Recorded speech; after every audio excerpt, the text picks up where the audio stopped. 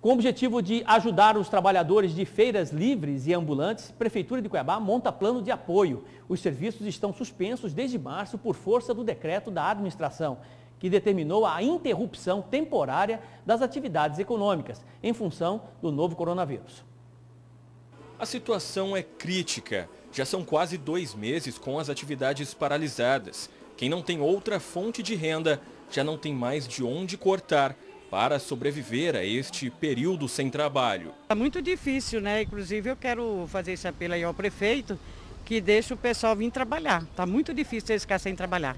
A interrupção das atividades por parte do Executivo Municipal seguiu os protocolos de segurança da Organização Mundial de Saúde para o enfrentamento à pandemia do novo coronavírus. Segundo a membro da Associação dos Feirantes, muitos deles já não têm mais dinheiro nem para as despesas básicas, como água, luz, aluguel, entre outras. Muitos feirantes perdendo as mercadorias que eles plantaram para vender na feira, a maioria não vai ter dinheiro para comprar um presente para o Dia das Mães e eles necessitam e precisam de trabalhar. Mesmo com o risco de contágio e a proibição, muitos ambulantes estão se arriscando a trabalhar aqui na região central de Cuiabá.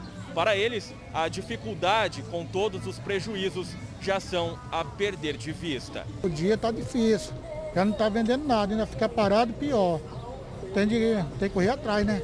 De acordo com o prefeito Emanuel Pinheiro, o plano de ação para auxiliar o setor irá abranger todos os trabalhadores do segmento, que estão devidamente cadastrados pelo município.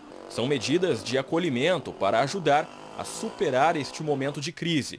Cida esclarece que há um diálogo com a prefeitura e que os trabalhadores estão recebendo auxílios, como cestas básicas. A prefeitura tem procurado, né? a diretoria direto tem ajudado, tem conversado, mas o que nós queremos mesmo é trabalhar. Né? Eu acho que tem uma forma de nós trabalhar é, com gel, um longe do outro, cada um com a sua banquinha. Tem como sim, basta as autoridades querer. Apesar de contar com o apoio do poder público neste momento, o que eles mais querem mesmo é que este período passe logo, para que possam voltar ao trabalho de forma adequada. Ninguém aguenta mais, né? Já, já vamos para dois meses a gente não aguenta mais ficar parada. Nós temos que trabalhar. O período negativo precisa passar logo. Né? É, tem que passar, em nome do Senhor Jesus.